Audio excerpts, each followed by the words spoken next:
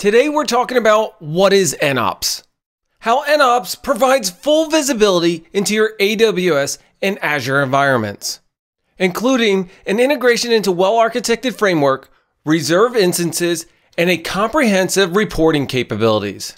Joining me today is Mike Till, Director of Solution Delivery at NOps. My name's Jon Myer, and I'm the Chief Evangelist at NOps. We have some exciting things happening today. Not only are we talking about what is NOps, but I'd like to share with you an upcoming release of the NOps SDK. You're going to want to stick around and you don't want to miss this. Don't forget, as always, if you're on YouTube, hit that like, subscribe, and notify. If you're on LinkedIn or Twitter, don't forget to click that follow. Please join me in welcoming Mike Till, Director of Solutions Delivery at NOps. Mike, thanks for joining me. Oh, yeah, happy to be here. Mike, before we jump into what is NOps, because I just joined NOps. Now I know what the product is before joining, but I think it's good to set, you know, a little bit of a backstory on everything. And before we jump into that, you know, you and I, we just found out that we actually worked together previously when I was at AWS. So small tech world. Really is. It's uh it's definitely one of the smaller areas that I've uh, I've encountered. It's quite hilarious actually. Everyone seems to know everybody. Cracks me up it it's really unique how um, if you think about it, all the tech out there, all the companies out there, yet we all somewhat know each other or somehow know each other or have worked together. I can t- honestly tell you, yes, I have a social presence, but I, I, can't go anywhere and be like, hey, we worked together before. Do you know that? yep. Yep. It's hilarious. It's, it's uh it makes it easy though, because you already know everybody. so we can get the formalities out of uh, out of the way already. And speaking of that, Mike, what is NOps? Tell me about it. What is, what is your whole elevator pitch? Yes, the golden question. Well, NOps is a cloud management platform. So we're essentially uh, a SaaS tool that sits on top of AWS and Azure. We pull in all sorts of metadata like utilization metrics, inventory data, all that fun stuff, and just really make it easier to understand, you know, what's going on with the uh, with the environments, whether it's from a cost perspective and identifying potential cost optimization opportunities, as well as you know seeing how the infrastructure stacks up against uh, well architected best practices. So ideally, you know, it's it's there to make sure you're staying on track and you know not letting things fall through the cracks. Does it give you complete visibility? Because i see I, I, you mentioned about staying on track right? Uh-huh. and i've got a lot of accounts out there. Oh yeah. What's the visibility for me? Oh yeah we get it all man. We uh, we can integrate with aws organizations um, same for azure and we pull everything in from the, the cost and usage report for all the cost data which keeps that organization intact and we're able to see all your costs for the entire organization underneath that master payer with the read-only policy that we have, we're able to pull in all sorts of metadata. Like I said, utilization metrics, inventory data, CloudTrail. I mean, pretty much everything you could ever possibly want, you know, to understand from your your cloud environment. All right, two things. One, you said read-only data. I imagine, write? This is an easy conversation because a lot of people don't want you to have that right access. Yeah. But allowing read access, you pull in all that data why can't I just do this myself? I mean, I love opening up that CUR file and opening my huge spreadsheet and looking at all, all the information and data and try to correlate all the lines, right? Yep. Yep. And I would say you're definitely a special breed if you like chewing through some cur data. you might be the only one. Um, you know, sure you could absolutely do it yourself but you know there there's a time tax that comes to that. I mean especially if you have a large organization um, those CUR files can be so incredibly massive it's it's kind of hilarious. Um, you know nops it makes it super easy. We're built on a newer architecture built around microservices so we're able to ingest that cur data quickly give you some some easy to use dashboards and reporting tools to really slice and dice that data in really any manner that you want. So, for example, you know, if you want to see all of my spend for EC2s in a particular region, just a couple of clicks, uh, clicks, and it quickly pulls that up for you to be able to digest. Sure beats, you know, slicing and dicing uh, uh, and pivoting all within Excel from the days of old. With the other platforms that are out there for cost and usage, mm-hmm. what makes NOps different? Yeah, um, definitely some similarities there. Um, the big differentiator for us is the fact that we're truly a single pane of glass. So if you're a multi-cloud organization with AWS and Azure, you know all of that cost data across both clouds are going to be in you know the same reporting tool. You don't have to jump between portals; it's all there for you. Additionally, everything that we do is in regards to those five now six pillars of the well-architected framework review. So you're quickly able to see how that infrastructure stacks up, um, which you know a lot of the other tools out there aren't you know necessarily doing at the level that we're doing the five pillars. Now soon, six pillar. Now AWS did release a six pillar, and NOps will be supporting that shortly. Yep. We're actually integrated with the well architected team. In fact, wasn't NOps one of the first partners that had access to the APIs in order to ingest the data and be able to do well architected reviews for customers? Yep, that's 100% correct. Um, it works very nicely. We're completely integrated with those APIs. Amazon just opened up that sixth pillar API, so that's coming into the NOps platform very soon. But yeah, we're we're able to pull every question in word for word and you know run it against the environment. And actually using our own rule set that we have, we're actually able to help auto answer some of those questions when you go through the review. So you know it's nice helps you move through it quickly you know for the more mundane data point driven questions out there you can see that they've already answered and move right along what percentage of questions would you think are answered automatically by NOps? And I have to take this percentage and say that's a lot of time savings that happens. Yeah, 100%. Um, I would say it depends on the pillar. Um, for security, you know, we can certainly answer a good portion of those questions. I would say maybe 40% of those, maybe 50%. Um, you know, because it's more data driven. Like, do you have MFA enabled? Well, that's stuff we're able to easily see. For other pillars, like the operations pillar, um, you know, that's more process based. It's more of a conversational piece to it. Like, do you have a disaster recovery policy in place if things were to go down? Um, you know, those types of things. Obviously, you can't really tie it to a data point, but you do have the option to upload those documents directly to the well architected review right within NOps, which actually does help answer the questions as soon as you upload it. So, for the things we can't necessarily help you answer, we're going to make it easy for you to, um, you know, get those documents in place and, and move you along that way. I've done a couple well architected reviews from scratch. I didn't use the NOps tool. It wasn't available to me. Right. Originally, when I started out as a partner and signed up for the well architected partner type program, I started doing well architected reviews. And let me tell you what, it was like an eight hour sit down session. And oh, yeah. it probably took two hours to answer the first pillar.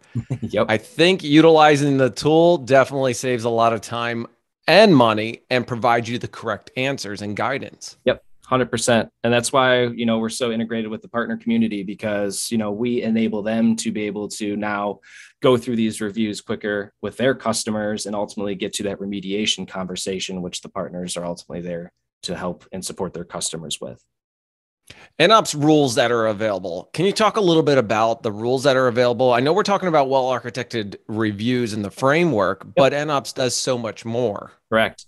Yeah, our NOps rule set is our essentially our master rule set that we're using to evaluate the overall health of the cloud environment. Um, a lot of these checks have been curated from obviously well architected and the questions there within, but also um, you know various compliance reports like SOC 2, HIPAA, CIS. You know we've made checks for certain um, controls within those frameworks, and even our own customer base. You know we have customers that recommended we had certain checks, and you know we we ultimately get them onto a roadmap somewhere and into production. So at the end of the day, it's just a nice collection of you know industry standard checks and um, you know to see where you stack up. You took the words out of my mouth. I was actually going to say the industry standard, what's happening out in the world, uh, customer feedback. You're taking these rules, these checks, and now you're integrating them into NOps and you're saying, you know what? We've got a number of customers that are asking for this. This needs to be a standard feature yep. that's available or standard check or rules. All right, let's get back to like NOps in general, uh, cost. What about like unused resources? Maybe untagged resources, which some people feel that tagging wasn't important then, but has been is the biggest thing in, in an AWS or cloud environment. 100%. You're absolutely right. Um, you know, from a tagging perspective, I, I, like to say you're only as strong as your tagging policy when it comes to, you know, working in the cloud. Um, you know, with the way the cloud is and how flexible it is, you know, sprawl can happen. Things get spun up, up and down all the time. Um, and really, the only way to to account for a lot of these from a cost perspective is making sure you have things tagged properly. And within the NOps tool, uh, we have uh, some easy to use tagging reporting tools to be able to identify exactly what your tag keys are the corresponding tag values underneath them, how much of those tag values are accounting for the overall tag key cost, and most importantly, being able to understand what's untagged. You know, nothing makes a, a finance person's palms sweat more than, you know, a bunch of untagged and unallocated costs. So being able to quickly identify, hey, you got 50 EC2s that are untagged, you know, let's get those tagged up and accounted for so you know where every dollar that you're spending is going. 50 EC2s, every dollar being spent does NOps provide that visibility into well you mentioned all accounts but what about all this regions? You know the, the biggest thing that i found with aws is the visibility into all regions. You go into the console and you just see one region but they did provide new visibility within the ec2 dashboard for a regional visibility. Does NOps do the same thing? Absolutely. Our cost control tool makes that again very very easy to, to understand. And we're getting all the same cost data because it's coming from that cost and usage report. So yeah, you can look at certain regions, all your EC2s in a given region. You can look at, you know, even things like usage types, like data transfer costs. I know can be a bit of a bear to find, you know, within, you know, the, the native consoles. So we make that very easy. Again, it's as simple as clicking the filter you want to see, and it changes the graphs and the tables to present all that cost data for you data transfer cost, the hidden cost that nobody accounts for. Exactly. or you can't see, you're not reporting on it, but NOps is actually pulling that in. Yep. What about RIs? RIs are big, a, a huge amount of cost savings that are available to that. Yep. Yep. Absolutely. RIs are great. Um, you know, if if you're in a place to be able to purchase RIs, it's going to really help drive down that cost. Obviously, there's a bit of, of a caveat with that. You got to make sure you have the right RI size, and you know you have the uh, the the correct coverage that you need, because you know at the end of the day, you don't want to leave money on the table from purchasing an RI that you haven't fully capitalized on. So NOps does make it easy. Again, we're able to report on the RIs that you have. We can tell you how much of the RIs you've been utilizing. So you can make those judgments if you need to. Say six months into a one year RI commitment, and if you only used a couple hours, you might want to make some changes to make sure you're getting that full capitalization on those savings. I know NOps is working on something big to take us to the next level, yeah. right? Based off some of the feedback that you're talking about, I, I, envision NOps is more than a cost reporting or usage tool. It has all the security capabilities, well architected review and framework, AWS and Azure. Mm-hmm how do I get started? And before I spoil anything else or leave a little bit more information at the end, how do I get started in adding, say, my AWS account to the NOps console? I mean, is it really simple? How soon can I realize the benefits? Yeah, honestly, you can get up and running. Well, you can get it configured probably within five minutes. It's super easy. We use CloudFormation on the AWS side to do a lot of the heavy lifting. Uh, like I said, it, will spin up an IAM role in the AWS account. It attaches that read only policy. Um, it will spin up an S3 bucket and a Cur file to put in that bucket, which is how we get all the cost data. And then from there, you just got to wait a full 24 hours for the data to essentially bake into the platform. But after that, you are ready to hit the ground running. Um, like I said, does not take long. Thankfully, with CloudFormation exists and does all the all the hard stuff for us.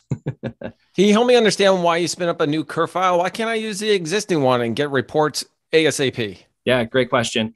Um, we like to spin up one with uh, with the CloudFormation because that way we know it's the the correct format. It all works exactly as intended. Um, there are situations where we can use existing ones, but we just got to make sure that it is the the correct format and and breakdown. Now I know AWS changes the type uh, Cur file not frequently, right? The format they add new lines and everything, but I think utilizing the CloudFormation and how NOps generates it alleviates any of those long-term issues that might happen where the file might change because we're pulling that exact data column structure yep. and ingested it into NOps. Yep, exactly. You nailed it. All right in the future now i want to talk about this because there's some things that are coming up that i'm going to talk about and i just want to hype it up just a little bit sure. mike you and i talked a little bit offline with regards to all the data that nops is pulling in wouldn't it be nice to take all this events all this data that we already ingest and do your own customization off of it. Maybe more RI awareness actions. What about, um, you know, you can do some provisioning, maybe adding accounts automatically to NOps. Mike, is there anything we want else want to add on to it? Yeah, yeah, absolutely. I'm glad you brought this up. Yeah, we're uh, we're we're we're trying to move towards a a more of a platform based type of tool set. So instead of you know putting in feature requests for, hey, I need this type of reporting. Well, we're just going to open up the entire thing. You'll have access to our entire, you know, data set of everything that we're pulling in, you know, opening up those APIs. So now you can theoretically code whatever you need to pull out of the platform. You know, some some simple use cases, for example, around EBS, you know, maybe you want to move from GP2 to GP3. Well, since we already have all that data in the platform ready to go, you can pull that out, you know, run it against the environment, identify everything that's GP2, and then, you know, using Lambda or some automated process, you can now convert everything over to GP3, which gives you better performance and a better price point. So that's just a simple example of where we're heading. Um, and we're very excited about it because it really opens up uh, a lot of opportunity for organizations to really build their own solutions on top of the platform. Wait, wait, wait, wait, Mike, Mike, are you telling me there's going to be an NOps SDK? You better believe it. Yep. Oh, awesome. Okay. I'm not going to spoil any more information. We will be sharing a number of things in the upcoming days or weeks. Mike, before we wrap things up, anything else you'd like to share with the audience? And it doesn't even have to do with tech, but you know, knowing you, uh, it might be. Yeah, yeah, yeah. Um, man, let me see. Well, I mean, today's Thursday, tomorrow's Friday, weekend's coming up. Um, doing some recording with some buddies of mine on the old guitar um, you know, it's uh, it's gonna be a good weekend. Wait, Mike, I think we have to have you do a little bit of an opener or live session next time on the guitar. Sure, sure. I can play Wonderwall. Maybe I should relabel this as like Thirsty Thursday or something. Perfect. Crack, crack open some cold ones. We'll have ourselves a time. Oh, speaking of cold ones, we are doing an event. You're hosting one of our events coming up on April 27th, but we are doing an event. Uh, what is it? Uh, it's going to be in end of May, June. I, I, think actually June will it will involve some of those cracking of a cold ones. Perfect. That's I, I will keep you informed. In fact, I didn't even tell you about that, but I'll I'll add that now. So you'll have to sign up for it, but stay tuned for more information. Count me in. I'll be there. That's for sure. Perfect. Okay, everybody. Mike Till, Director of Solution Delivery at NOps. My name's Jon Myer, Chief Evangelist, and guess what, folks? We're out of here. All right, Alexa, turn off podcasting lights.